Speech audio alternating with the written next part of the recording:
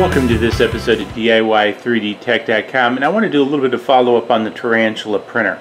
So one of the things is, is as far as all the kit printers I've done, this is this has definitely been the greatest kit printer I've put together. Very very happy with it.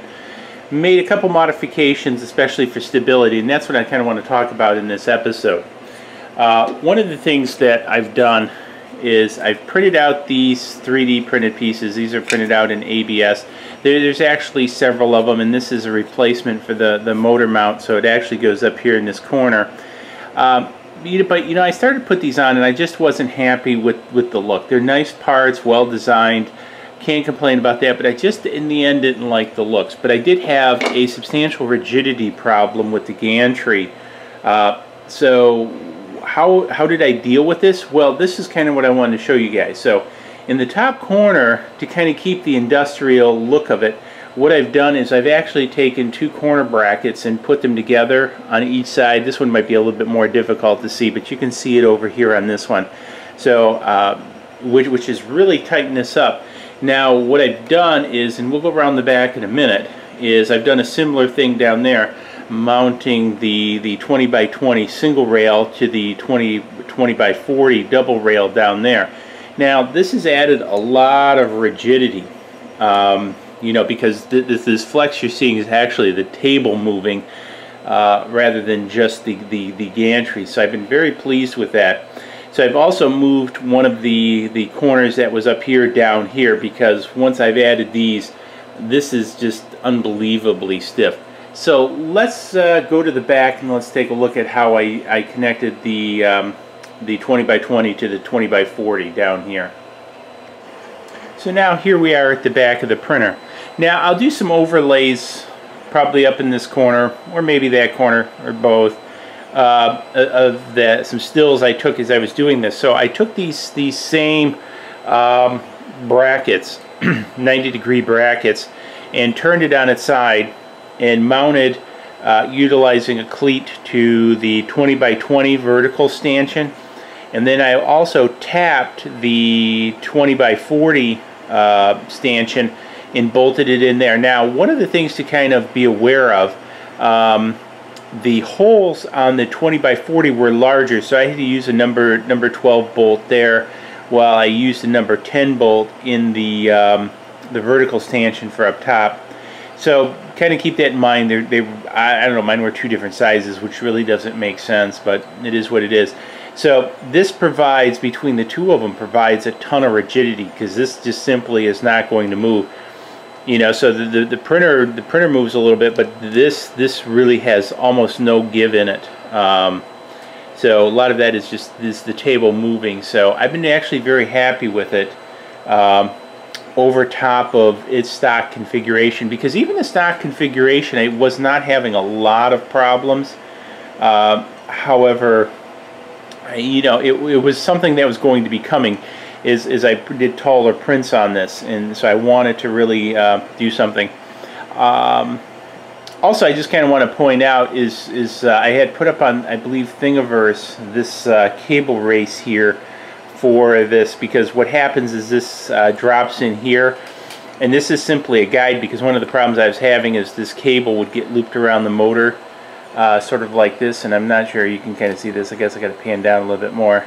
So it would get caught around the motor like this so now it just sits in here and slides back and forth I could kind of maybe do a cable chain or something like that but this, this actually is easy and works out fantastic.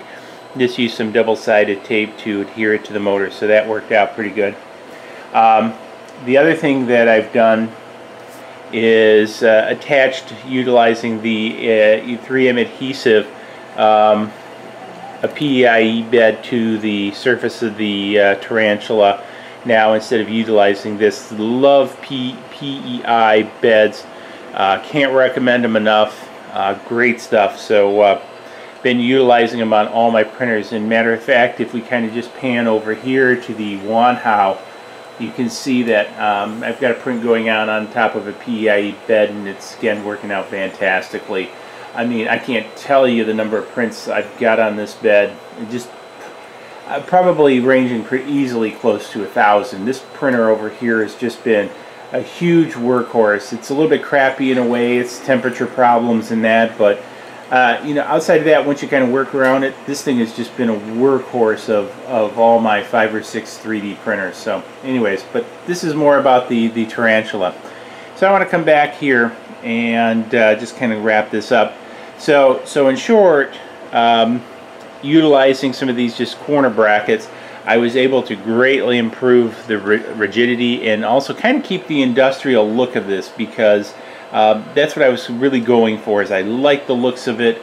Um, it's great performing now with this, even with this stock hot end. So I'm very happy with it. We're going to do a couple other firmware mods to it to, to do some adjustments. You'll see that in an upcoming video. But in general, extremely happy with it. So if you're looking for a printer kit, this is definitely it. I'll have the links below if you're interested. So hey, uh, this helped you out. You got a tarantula, even if you don't. Now, the, the piece is, I should mention, even if you don't have a tarantula, but you have another um, maker rail based system, these, these hacks still work out because, again, this I thought really, this surprised me in how rigid this piece up here. I'm pointing to something you can't see. That was really intelligent. Um, this piece right here really uh, improved the rigidity far beyond what I expected.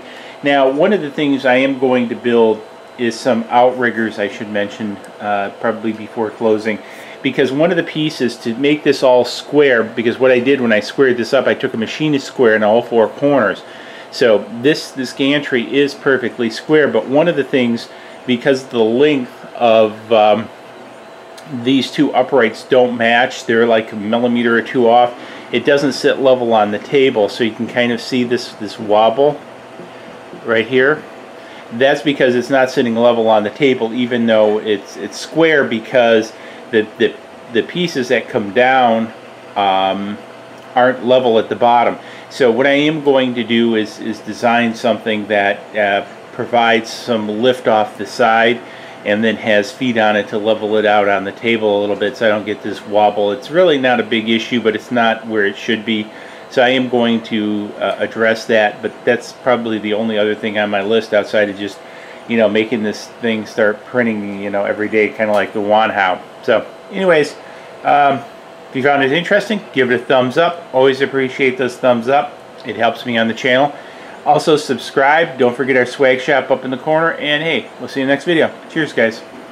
Please click like below and subscribe to the channel to keep up to date on all of our projects.